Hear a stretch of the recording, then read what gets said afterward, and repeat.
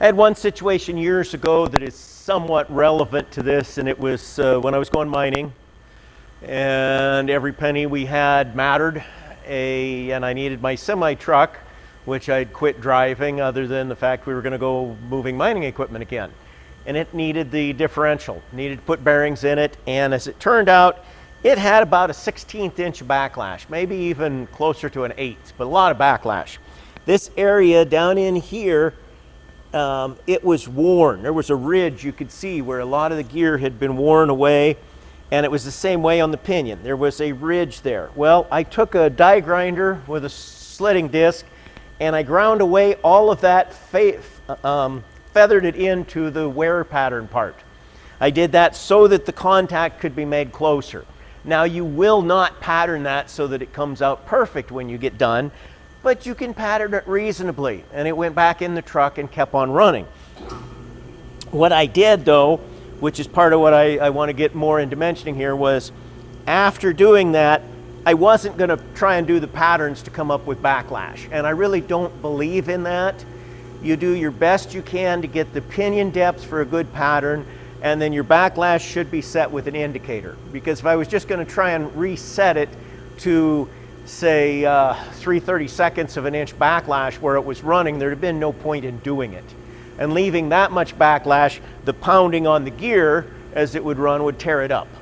So what I did was I brought it back to about 5 thousandths of an inch backlash and then let the gear wear into having a nice matched pattern again. Or at least I think it did because it kept working. Um, and it wasn't noisy. But I got more life out of it because I didn't have, while we were setting up to go mining, I didn't have the other $1,700 for a new ring and pinion for the truck. But I had, I think it was about 800 by the time I bought the bearings and then my time, and um, we did what we could. Um, you can't go broke mining without spending money. And do you know how to make a small fortune mining? Start with a big one. We didn't have a big one, so we didn't make a fortune.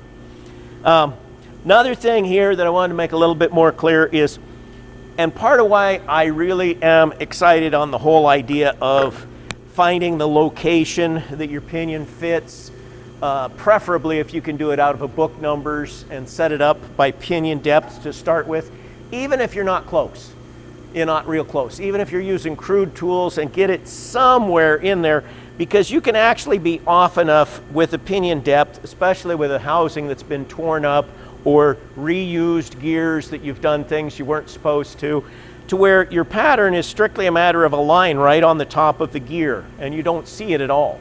So you really get frustrated when you pattern it and there's nothing showing. It's driving the gear, but there's absolutely nothing showing. Um, so in those cases, if you are there already, then you're going to have to look in with a mirror, do your best, maybe put something between here, get some kind of an idea what's going on if you're at the point where the, uh, the uh, compound is not showing at all. But normally you're going to be too shallow because if you're too, too deep, it would show somewhere down in here. You'd just be extremely too shallow. Um, something else that I was thinking about on the pattern.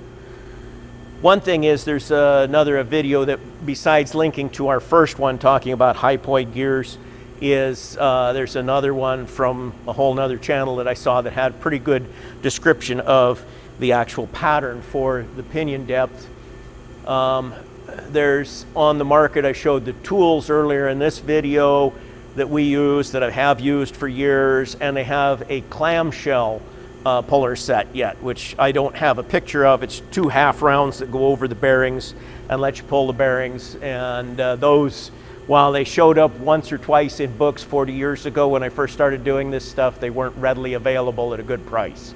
So I just bought a set off Amazon for 100 bucks, and that's uh, that's I think a reasonable investment. You might pick one of the other sets that's 200 or 300, whatever you find. Um, but they seem to all get about the same reviews. They look like they're all made in China or India, whether they're whoever put their brand on, they look the same. I could be wrong.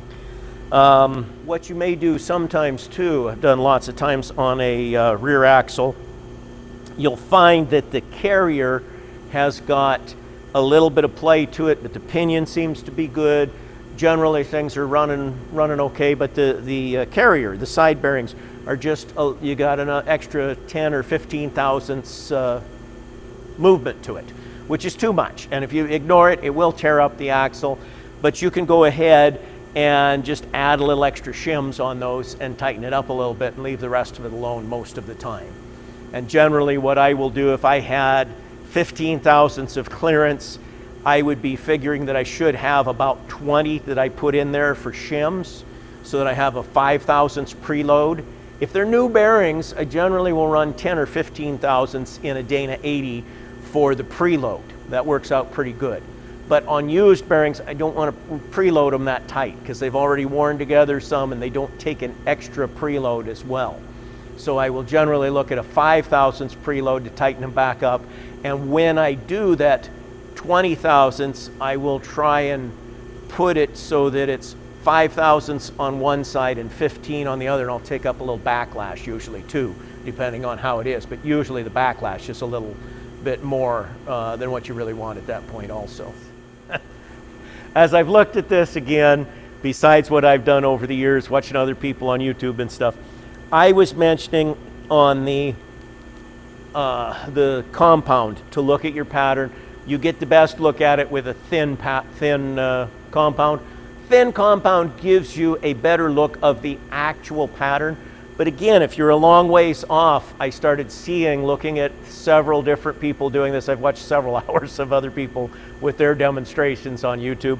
And with the thicker compound that they usually give you, you have a little bit of a pattern that's not really a pattern. But because you can see the place where it might contact, and then coming off of it, you see some slightly disturbed grease, which they're normally counting as a pattern, even though it's not part of the pattern. But the fact that it's there gives you more of a visual indication of the direction to go even though it's not showing you just the pattern. It's actually, they're showing a lot of times where it's got a very, very small pattern. It's, it's not because of how much it needs to move, but it looks bigger because they're using the thick compound. So while I spoke before being against the thick compound, it's a general precision thing. You don't get as precise of a view of what's going on, but it does have uh, some value in getting you and you got a long ways off, which you can be quite a bit off when you start out on a rear axle.